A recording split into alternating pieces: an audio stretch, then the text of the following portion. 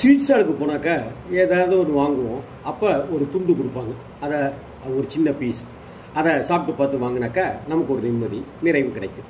இந்த அகண்ட உலகத்தில் எல்லாத்துக்குமே ஒரு சாம்பிள் தேவையாக தான் இருக்குது ஆகாயம் போல மனசு அப்படின்னு சொல்கிறோம் பால் போல நிறத்தில் சட்டை அப்படின்ட்டுலாம் உதாரணம் சொல்கிறோம் இப்போ பார்த்துட்ருக்கிற இந்த செவ்வாய் தோஷம் அப்படிங்கிற விஷயம் கூட சில உதாரணங்கள் தேவையாக இருக்குது அதை சொன்னாதான் இந்த செவ்வாய் தோஷம் ஒரு மேட்ரே இல்லை அப்படிங்கிறது நம்ம நிறைய பேருக்கு தெரிய வரும் செவ்வாய் தோஷ ஜாதகங்களை சில இது அதில் ஒரு ஜாதகம். ஜாதகத்துக்கு உரியவர் ஒரு பெண். அந்த பெண்ணோட ஜாதகத்தில் செவ்வாய் தோஷம் இருந்ததால் பல வரன்கள் நிராகரித்தபடியே இருக்கு. இதனால் விரக்தியில் இருந்த பெற்றோர் வர்றாங்க அந்த பெண்ணோட ஜாதகத்தை குறிப்பிட்டு பார்த்தாக்க ஜாதகத்தில் துலாம் லக்னம் மிதுன ராசி செவ்வாய் மகரத்தில் இருக்கு. லக்னத்துக்கு நாலுல செவ்வாய் ராசிக்கு எட்டில் செவ்வாய். இது கடுமையான செவ்வாய் தோஷம்னு ஜோதிடர்களால் சொல்லப்பட்டது. இந்த ஜாதகத்தில் சில குறிப்புகளையும் பார்க்க நேர்ந்தது. குறிப்புகளையும் எடுக்க முடிஞ்சது. இப்போ இந்த ஜாதகத்தை அப்படியே நகலெடுத்து பிள்ளை வீட்டாருக்கு கொடுங்க அப்படின்னு சொல்லி அடுத்த ஒரு மாதத்துக்குள்ளார வரன் தகஞ்சுது. அந்த குடும்பமே நெகிழ்ந்து போய் வியந்து போய் பார்த்தது. என்ன குறிப்புனா இந்த ஜாதகத்தில் செவ்வாய் தோஷம் உள்ளதுங்கிறது சரிதான். ஆனால் உச்சம் பெற்ற செவ்வாய் எப்போதுமே தோஷம் தராது.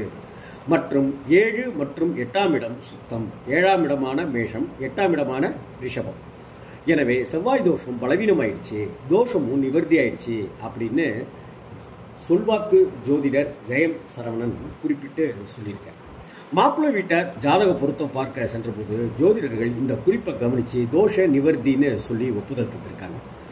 அது தற்போது அந்த பொண்ணுக்கு ரெண்டு ஆண் குழந்தைகள் இருக்காங்க. அவர் தன் கணவரோட குழந்தைகளோட கனடாவில் வசிச்சிட்டு இருக்காங்க நல்ல செல்வ வளம் நலமாக வாழ்கிறார்கள். பெண்ணை பெத்தன பெத்த பெத்தவங்க இன்னமும் அந்த சொல்வாக்கு ஜோதிடர் ஜெயம் சரவணன் அண்ணனுக்கு நன்றி சொல்லிகிட்டே இருக்கிறாங்க அப்படின்னு அவர் சொல்கிறார் இது எல்லாமே முருகன் அருள் தான் அப்படின்னு அவர் எளிமையாக சொல்கிறார். இப்படி செவ்வாய் தோஷம் உள்ள ஜாதகர்கள் என்ன விதமான பரிகாரங்கள் செய்யலாம்னு நிறைய பேர் கேட்டுக்கிட்டே இருக்காங்க.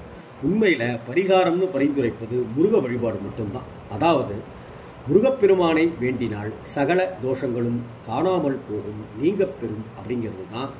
செவ்வாய் தோஷமெல்லாம் இதில் எம்மாத்திரம் முருகன் கிட்ட நான் பரிந்துரைக்கிற பரிகாரங்கள்னு பஞ்சபூத தத்துவத்தினுடைய அடிப்படையை கொண்டது தான் மேஷம் சிம்மம் தனுசு நெருப்பு ராசி. ரிஷபம் கன்னி மகரம் நிலராசிகள் மிதுனம் துலாப் கும்பம் காற்று ராசிகள். கடகம் விருச்சிகம் மீனம் நீர் ராசிகள். ஆக செவ்வாயானது நெருப்பு ராசியில் நின்று தோஷத்தை தந்தா கோவிலில் விளக்கேற்றி தீப வழிபாடு செய்து கடவுளை வணங்க வேண்டும். இது ஒன்றே போதுமானது.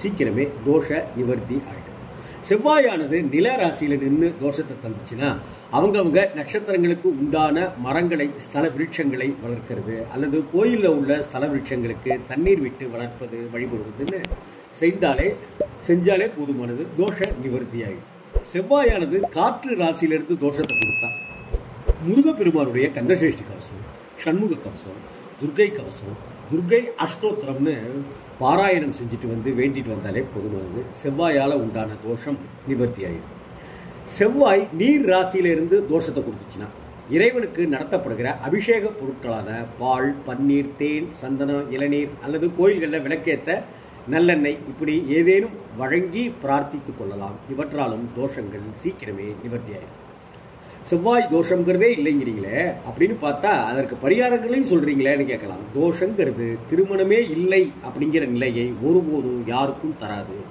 தாமதம் அப்படிங்கிற நிலையை தந்துகிட்டே இருக்குங்கிறத மட்டும் புரிஞ்சுக்கணும்.